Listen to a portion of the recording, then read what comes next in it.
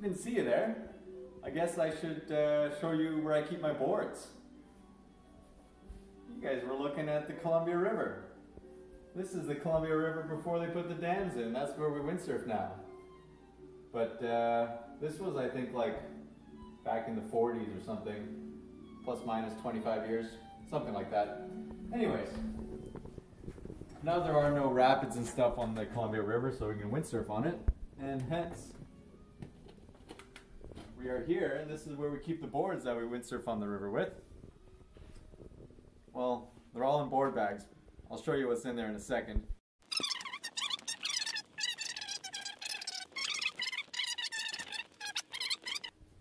Um, but generally, this is where we keep the booms. This is where I keep some sails and some masts. Um, we have some more sails. The larger ones are back here, kind of hidden behind the, the biking bag. We got a beginner board.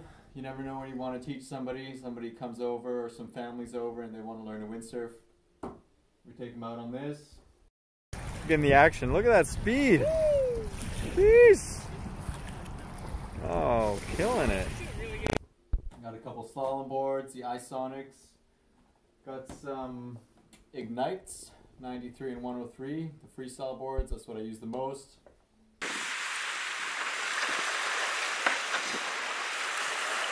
And then, uh, and then the UltraKode for the big waves.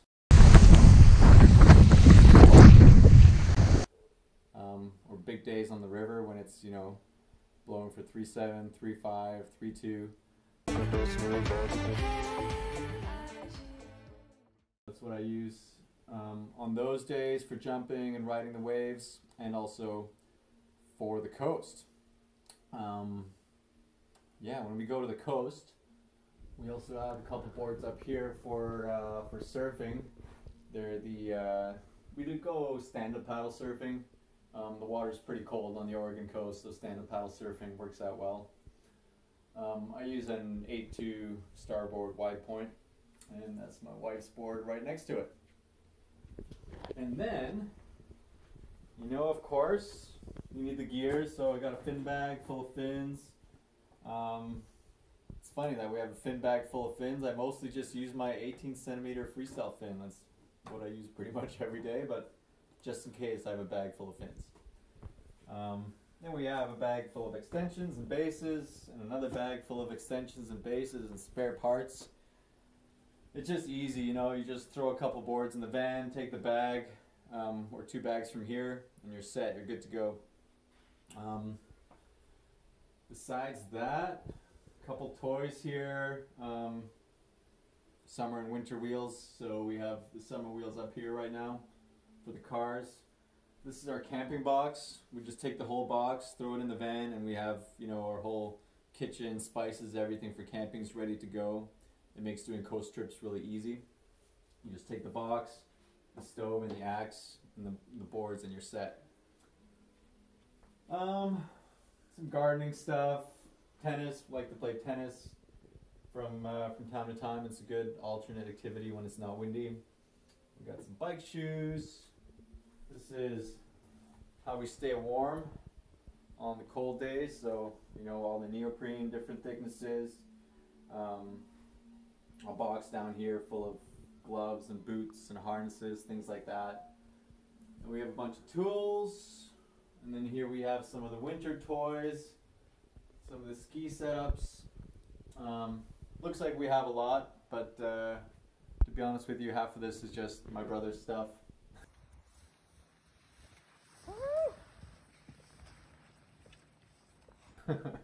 Our stuff is just the skis on the left.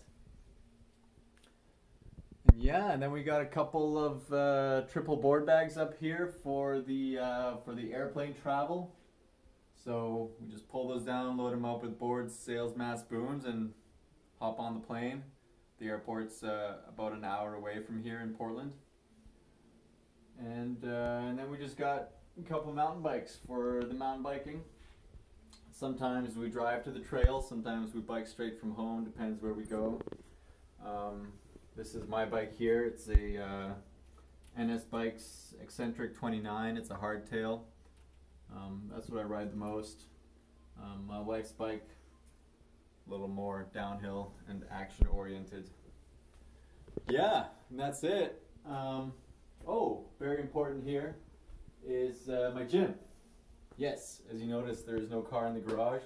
That's because we use it for many things, including including our workouts. Yeah. So I'm often in here in the mornings. I'll set up my uh, my suspension trainer here, and you know, along with uh, along with the floor space, the suspension trainer and pull-up bar. Um, it's a pretty good gym setup. I call it the home gym. Don't spend time traveling anywhere. I can just work out in here, and uh, when the weather's good, spend it outside doing all the sports. Yeah. Thanks for watching. So I pulled out some of the boards out of the bags for you so you can see these beauties. Um, they're all blue, looking good. Um, these are the boards that I ride the most. So I have the uh, the uh, larger, one of the larger Isonics, the 77 is what I ride a lot um, in lighter winds when I'm slalom racing. We have the Gorge Cup out here in a pretty gusty spot, so I'll ride that the most. And then uh, most of the days I'm on this guy here, the uh, Ignite 93. That's my baby. That's what I ride day in, day out. Um, on the lighter wind days, I'll grab this one, which is the 103. And um, yeah, you know, just uh, ready to go whenever the wind's up. As you can see, it got a little uh, special blue strap on the back of this one that makes it a little faster, you know. Always got to change up the colors. The black straps on the big board for light wind performance and the blue straps on the high wind freestyle board for uh, good control. Definitely the keys to success.